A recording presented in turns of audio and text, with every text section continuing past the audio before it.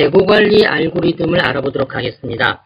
다음과 같은 조건으로 재고 신발을 크기별로 정리한 후 그 소개를 보여주는 재고 알고리즘을 제시하라 이렇게 되어 있습니다. 재고 신발은 모두 1000개라고 가정을 했고요. 어, 이 i번째 재고 신발의 크기는 배열 원소 si가 가지고 있다. s1부터 s1000까지가 있겠죠. 그 신발의 크기는 보니까 170mm부터 300mm까지 5mm 간격으로 할당된다. 이렇게 되어 있습니다. 자, 문제를 잠깐 보겠습니다. 자, 신발의 크기가 170부터 300까지 5mm 간격이라고 그랬는데, 그 이 크기를 인덱스로 해서 그 크기의 신발이 몇 개인지를 나타내는 변수를 n이라는 이제 배열 변수를 한번 사용하겠습니다.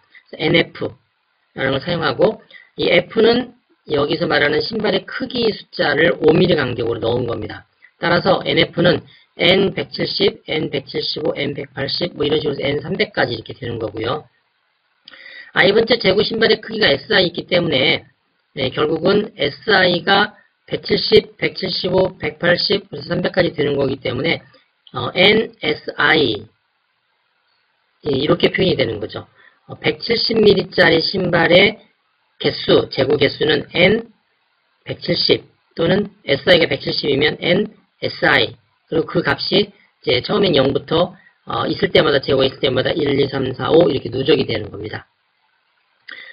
어, 사실은 이제 배열로 따지면 상당히 많이 나, 낭비하는 것처럼 보여지는데 이제 보기 편하도록 하기 위해서 어, 일부러 사용을 했습니다. 크기별 통계치를 보관하고 있는 배열 변수 NF에 에, 보면 이제 그 값이 재고가 없으면 0이겠죠. 있으면 1, 2, 3, 4, 5 나올 텐데 그 값이 0이 아닌 것들에 대해서 이제 출력을 하는 거죠. 어, 이 F값은 170부터 300까지 5간격으로 되어 있고요. 자, 구체적인 절차를 보면 이렇습니다. 크기 신발 F별로 배열 변수 NF의 초기값을 0으로 둡니다. 자, 일단 재고가 0이란 뜻이죠. F는 170부터 300까지 5, 간격으로 배정이 되고요. 전체 신발 1000개에 대해서 하나씩 하나씩 조사하죠. 조사해서 그 사이즈별로 해당되는 NF 값을 1씩 증가시키면 됩니다.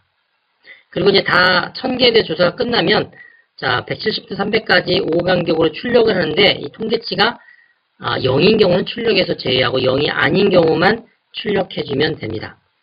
자 순서대로 사용하는 변수를 보겠습니다. F는 신발의 사이즈를 나타냅니다. 170부터 300까지 5간격 NF는 그 F 사이즈인 변수, F 사이즈인 신발들이 몇 개 있는지 재고를 나타내는 변수입니다. 배열로 되어 있죠.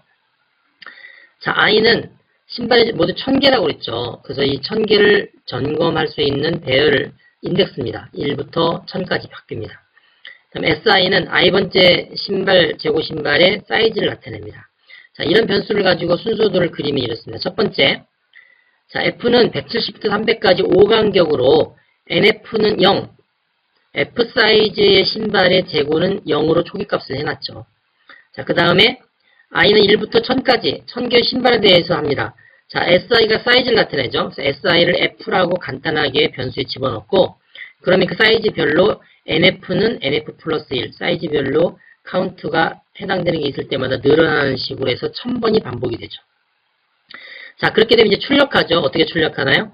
170부터 300까지 5간격으로 요 F를 인덱스로 하는 그 재고 배열 값이 NF가 0이 아니면 0이면 생략합니다. 0이 아니면 그 사이즈 F하고 그 사이즈의 재고 NF를 출력합니다. 그래서 이제 0이 아닌 값들만 출력하고 0인 값은 뱅뱅뱅뱅 돌면서 출력하지 않는 형태가 되는 거죠. 자, 디버깅 표를 만들었습니다. 신발이 1000개까지 할수 할수 없어서 20개만 했고요.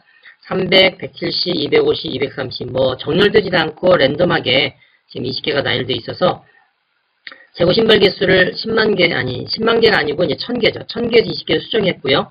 그러다 보니까 S1에는 300, 이거죠.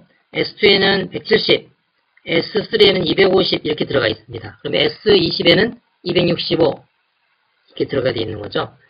어, 그래서 이제 배열을 초기화시키면 N175부터 시작해서 N300까지 전부 0으로 세팅이 되어 있고 그 다음에 이제 이제 디버깅 표에서 하나씩 돌아가면서 합니다.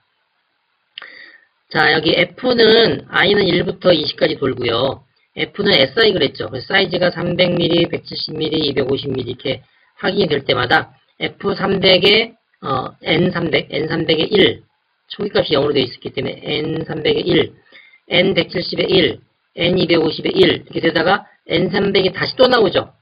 그럼 이제 2, N300이 또 나오죠. 3 이런 식으로 해서 마지막까지 가면 결국은 모든 사이즈의 적절한 제곱값이 하나씩 증가하면서 값이 존재하고요. 이제 0인 값, 하나도 제곱 없었던 0인 값을 출력하지 않고 0이 아닌 값들만 사이즈와 그 재고 개수를 출력하면 이 알고리즘에서 원하는 그런 값을 뽑게 됩니다.